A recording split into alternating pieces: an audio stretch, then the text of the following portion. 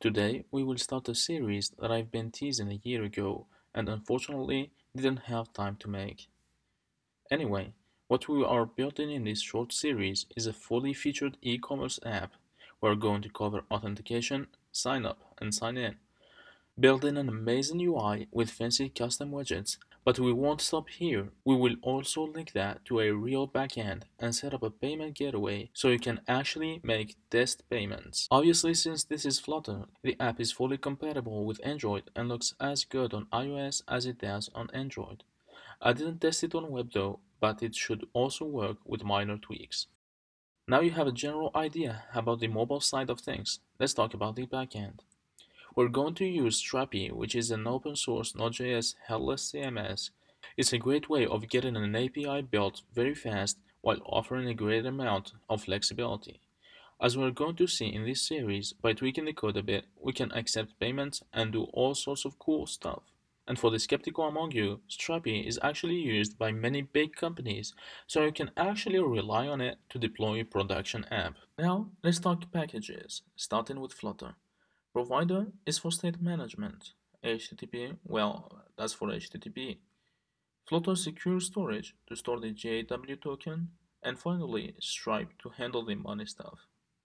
In the backend, we only need to add Stripe for Node.js so we can handle the payment on the backend. Let's get started by going to the Strapi.io website and click on Get Started. As you can see, they have a pretty extensive documentation. For now, what we need to do is to go to the terminal and create a new Strapi project by running this command. Let it do its things. Once it finishes, you can set up your admin account. This is the admin dashboard. This is where we will create our content, add images, etc. We will get back to this later. Now, let's create our Flutter app. As usual, open your terminal and run the flutter create command. Then, add the packages we talked about in the beginning. In this episode, we won't do any real coding, but I'd like to create all the files and folders we will use later. You can find the project as it is in the link in the description. As you can see, my folder architecture is pretty simple. I have a folder for my data models, another one for the services, and the last one for the UI elements. I would also suggest having a view model folder where you can put your providers.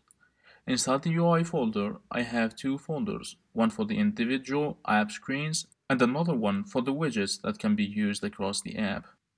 Another important file that I like to have is the global dot dart file, where I can save my global variables such as the app color scheme, text size, and so on. In the upcoming episodes, we will create our e-commerce shop products, create the app UI, and the API services in Flutter. Then link everything together to get a fully featured app. If you found this video helpful, you can support me by buying a cup of coffee using the link in the description. Don't forget to subscribe and ring the bell for more Flutter tutorials.